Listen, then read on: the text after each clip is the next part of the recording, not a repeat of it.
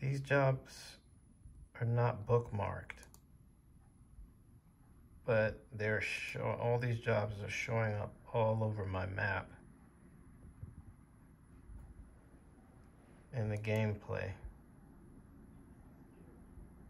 And it's a bunch of them. All of this stuff.